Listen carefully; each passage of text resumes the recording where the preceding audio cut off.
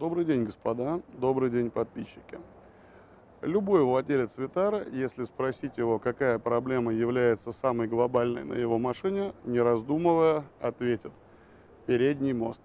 То есть это касается любого человека, который столкнулся с неисправностью такого рода.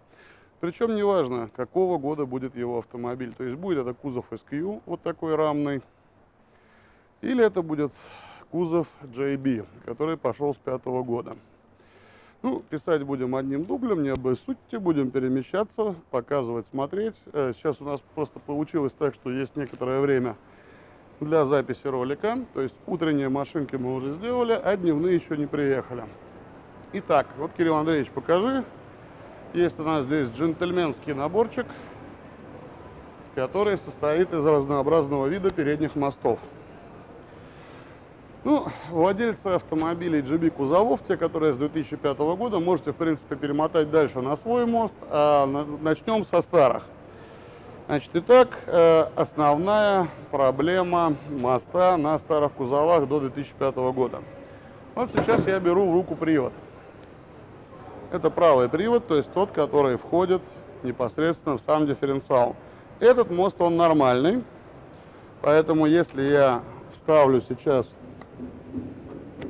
гранату привода, вы увидите, что люфта в нем нет. То есть так должно быть. Но по факту бывает обычно вот так. То есть я, естественно, не могу показать это на нормальном мосту, но будет вот такое вот движение на погруженной внутрь гранаты. Значит, э, из-за чего это происходит? Из-за естественного износа. То есть внутри моста есть вот такая вот деталь. То есть непосредственно блок сателлитов, и вот там вот внутри есть еще шлицевая часть. Именно та, куда входит непосредственно шлицами привод. Выход из строя этих частей, то есть непосредственно износ зубьев внутренней гранаты привода и износ зубьев самого дифференциала дает этот эффект. То есть как бы появляется люфт, соответственно, разбивается сальник и начинает течь масло.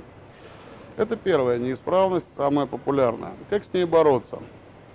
Так как э, вот здесь есть, ну, можно вот здесь показать, вот, Кирилл Андреевич, покажи поближе, это силуминовый чулок.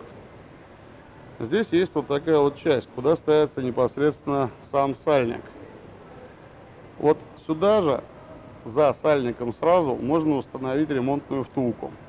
То есть выглядит это будет, ну покажу вот сюда, то есть, грубо говоря, вот за сальником, вот здесь есть свободное место, вот пальцем я его сейчас трогаю, вот это. Здесь будет стоять втулка, которая как раз и уберет вот этот вот люфт. Проходите, пожалуйста, пожалуйста, займет с вами. Вот. Э, для чего это делается? Значит, основная цель заключается в том, что нам надо сохранить целым этот сальник, то есть убрать утечку масла из переднего дифференциала. Добивается, скажем так, достигается это только таким способом, потому что по мере эксплуатации растет износ сопряженных плоскостей привода и самого редуктора. Это первая проблема. Значит, вторая проблема. Как вы видите, чулки и сами корпуса бывают разные. То есть то, что лежит на столе, это чугунный мост. То есть чулок выполнен из чугуна, э, хвостовик переднего дифференциала, соответственно, тоже сделан из чугуна. Есть вот такие вот силуминовые. И силуминовых больше. Почему?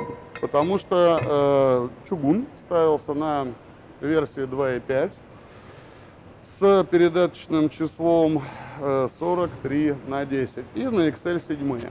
Это правильно, вот такая конструкция моста, она рассматривается с 99 по 2003 год.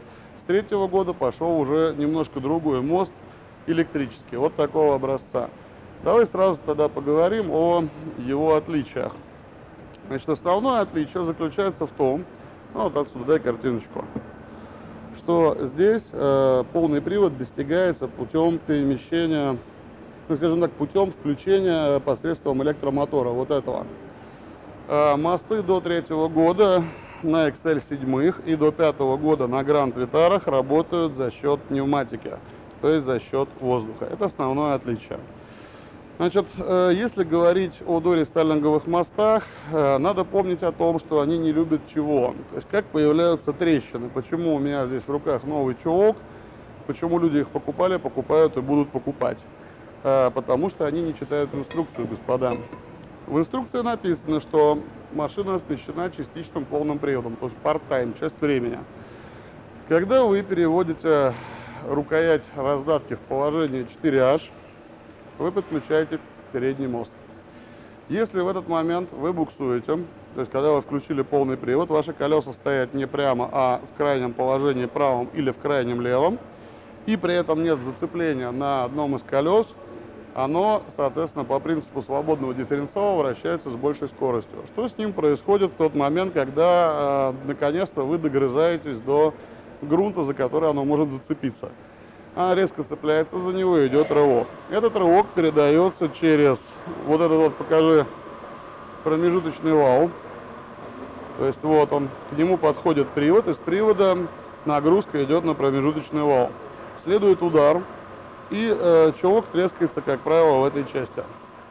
Значит, в том случае, э, если у вас э, изношен непосредственно сам дифференциал. Э, в момент ударной нагрузки у вас может помимо чулка оборвать еще сам хвостовик. И вот в этой его части, покажи, Кирилл, появится трещина.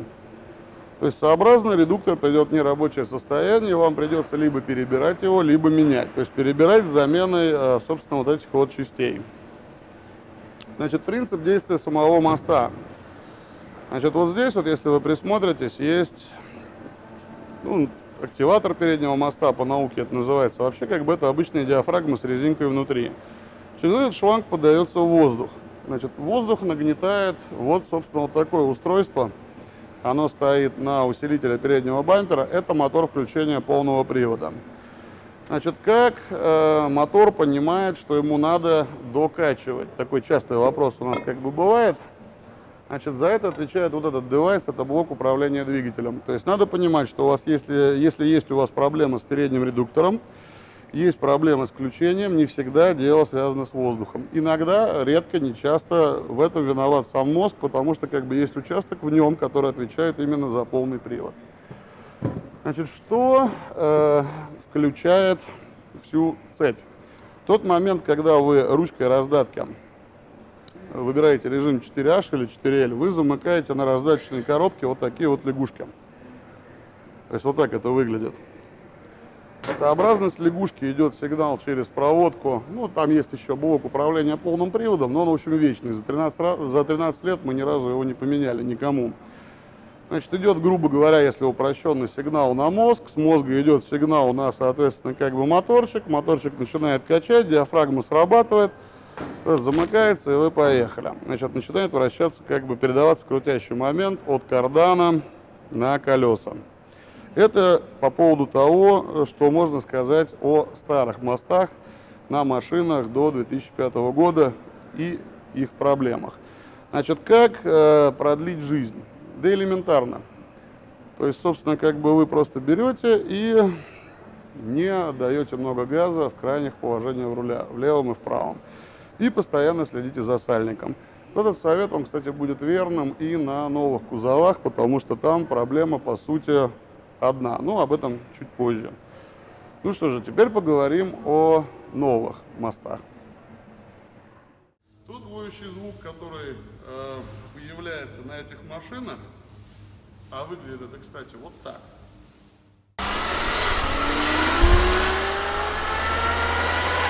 Воющий звук как раз и есть э, признак того, что мост вышел из строя. То есть вот его картер, как бы, если прислушаться, вот эти вот звуки под сброс говорят о том, что его пора менять. Ну что ж, господа, если говорить о передних мостах на новых Витарах, ну как на новых с 5 по 15 год, здесь все гораздо проще, чем там. Нет никакого воздуха от слова совсем. Потому что эти машины оснащены постоянным полным приводом. То есть у вас полный привод работает всегда. И убивает, по сути, по своих только одно. Отсутствие масла. То есть есть сальники, за состояниями которых, за состоянием которых надо следить. Датчика уровня масла в картере моста нет. Объем заливки, ну, порядка 900-950 грамм. Значит, важно понимать, что туда залить и как за этим следить. Что заливаем туда мы? Значит, в инструкции по эксплуатации написано 80В90 вязкость масла. Были люди, которые в России заливали такие масла минеральные. Но у нас есть зима, поэтому, скажем так, статистика не в пользу этого масла. Мостов мы поменяли изрядно. У любителей, которые придерживались этой инструкции четко. Есть люди, которые заливают туда 75 на 140. Ну, дескать, это будет лучше. Статистика тоже спорная. Скажем так, за 13 лет нашей работы мы выработали другой рецепт. То есть, на наш взгляд, оптимально сюда подходит Mobil 7590 SynLS. То есть, это масло для самоблоков. Почему? Здесь ведь нет самоблока. Да нет, но так как машина эксплуатируется на бездорожье, а на некоторых витарах есть э, имитация блокировок системы ESP, то, в общем-то, будет разумно, по крайней мере, в заднем дифференциале на 100% разумно применять этот тип масел. Мы э, льем его последние 10 лет, заливаем. И могу сказать, что количество жалоб ну, отсутствует. То есть еще ни одной машине, в которой было это масло, при условии его наличия в картере, мост мы не поменяли. Такое лирическое вступление. Значит, что делать, если э, все-таки проблема с мостом произошла, если масло вы упустили?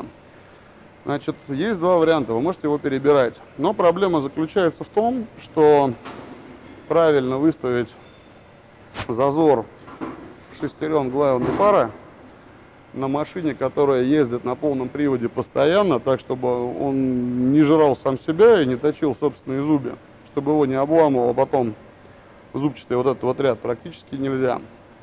Потому что регулировка подразумевает постоянную сборку и разборку и замер. То есть как бы дистанционными такими вот шайбами. То есть, на наш взгляд, есть два варианта. Если у вас нет свободных денег, то вы идете и покупаете бэушный мост. Потому что многие люди брались перебирать эти агрегаты, брали с вас денег, вот, и, собственно, как бы ничего не давали вам взамен. Значит, что дает БУ мост контрактный? Он дает вам возможность за 30 тысяч рублей вернуться опять в нормальную эксплуатацию. Ну, естественно, сократив сроки Э, при которых вы будете нормально ездить.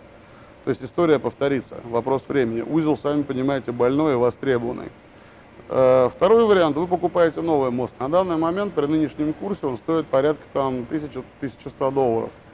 Да, это большое уважение, потому что сейчас вся машина стоит, ну там 400, 450, 500 рублей первых годов, 6-7.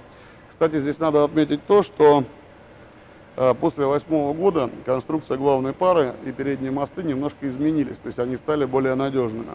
То есть владельцам э, автомобилей после восьмого года жить все-таки немножко легче, чем э, на старых кузовах.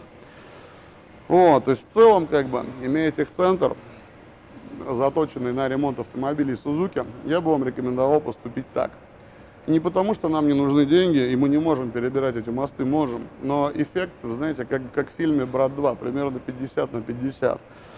О, то есть бывают случаи, когда и новые дифференциалы приходят с дефектом, и через какое-то время они начинают выть. Думайте сами, решайте сами. И запомните, что только теча на новом мосту убивают его. То есть теча сальников приводов и теча сальников хвостовика. Это, кстати, вот здесь. То есть следите за этим. При соблюдении этого простого правила, то есть э, постоянная диагностика отсутствия течи на каждом ТО, своевременная замена масла, по-хорошему раз в 40 тысяч или раз в два года, не реже, убережет вас от вот таких вот проблем. С вами был клубный сервис, соответственно, Илья. Если мы вам были чем-то полезны, ставьте лайки, подписывайтесь. Внизу под этим видео вы найдете ссылочку на нашу группу ВКонтакте и на наш основной сайт. Спасибо вам за просмотр. Удачи, друзья!